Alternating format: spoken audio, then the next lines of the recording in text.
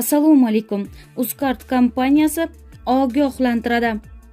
Yagona umum respublika protsessing markazi uzcard internet va ijtimoiy tarmoqlarda kompaniya brendidan foydalanib firibgarlik holatlari ortgani haqida ogohlantirdi.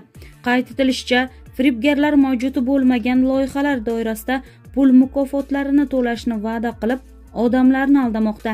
Yodingizda bo'lsin agar siz o'zingiz qilmagan harakatlar to'g'risida sms xabar olgan bo'lsangiz bank kartasi tafsilotlarini sms orqali qabul qilingan bir martalik parollarni yoki bank yoki to'lov tizimi nomidan boshqa shubhali murojaatlar haqida ma'lumot so'rovi kelsa bilingki siz bilan yomon niyatli kimsalar bog'langan.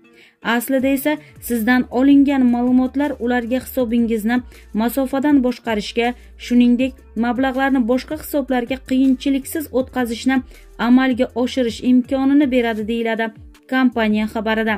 Uzcard shuningdek tasdiqlanmagan saytlarga parollar va shaxsiy ma'lumotlarni kiritishda hushyor bo'lishga shaxsiy ma'lumotlarga uchinchi shaxslarning kirishiga yo'l qo'ymaslikka chaqirdi deyiladi xabarda.